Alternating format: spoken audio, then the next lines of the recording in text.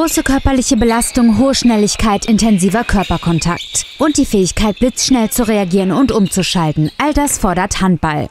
Die Spieler der OSC Löwen sind genau das gewohnt und versuchen in der Saisonvorbereitung immer noch eine Schippe draufzulegen.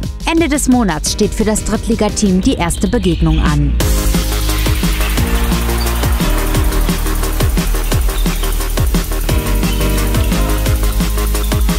Trainer Jörg Förderer fordert von seinen Schützlingen vollen Einsatz. Er hat einen klaren Wunsch, wie die neue Saison verlaufen soll. Wäre schön, wenn wir das gleiche Ergebnis erzielen könnten wie äh, dieses Jahr.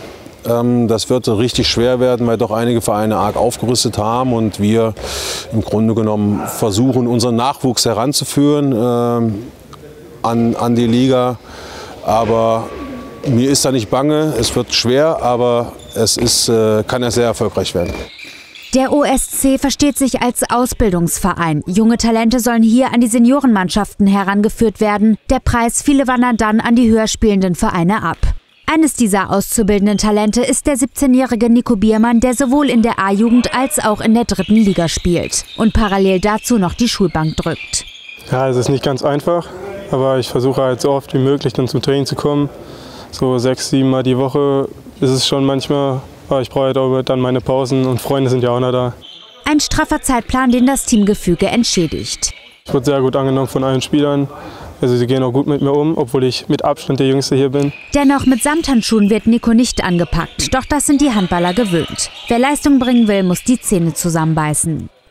In jedem Training einen Fokus setzen, um das Optimum aus den Spielern herauszuholen. Und da stehen auch mal Einheiten auf dem Programm, die dem Team nicht ganz so viel Freude bereiten.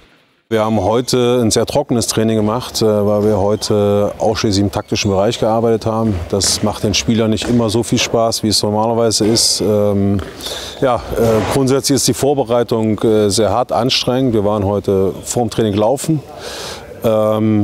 Sinnvollerweise eigentlich wäre es besser nach dem Training, aber durch die Hallenmöglichkeiten zeitlich begrenzt ist es so, dass wir halt um halb zehn Schluss haben und dann kaum noch Möglichkeiten haben zu duschen, wenn wir nach dem Training laufen würden. Ja, äh, so ist im Endeffekt äh, der Ablauf schweißtreibend, hart äh, in allen Bereichen arbeiten. Schweißtreibend, anstrengend und dennoch die absolute Leidenschaft des Teams. Die OSC Löwen machen sich bereit für die anstehende Drittligasaison.